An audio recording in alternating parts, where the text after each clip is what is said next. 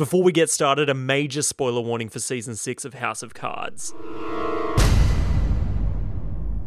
Before the season has even premiered, we are now certain of Kevin Spacey's fate in the Netflix original House of Cards. And when they pay their respects, they'll have to wait in line. Today, Netflix dropped its second teaser for the new season, with Claire standing over Frank's grave, reciting the quote Frank says to his father's grave at the start of season 3.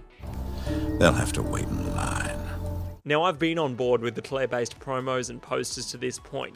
However, this didn't quite sit well with me. Claire saying this quote to Francis holds no weight, as it only meant something between Francis and his father. I don't know if this is meant to be a tongue in cheek metaphor for Kevin Spacey's career, which I guess would make more sense, but I can say I'm glad she didn't start urinating on his grave afterwards. My money is on them opening this season with this and then moving on like he never existed, maybe referencing him a few times. I understand this is a very clean way of moving past the drama, however, I can't comprehend why they'd tell us this soon. The only way I can make sense of it is to set the tone for the season early on and have us get used to the idea of a dead Frank before the premiere.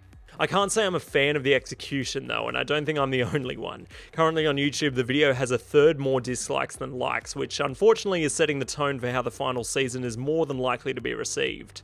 On Twitter last week, we got a few screenshots showing Robin Wright on set with new additions to the cast Diane Lane, Greg Kinnear, and Cody Fern, including a shot showing Claire with Greg Kinnear with Frank's Sentinel ring, probably setting an example for these newfound subordinates.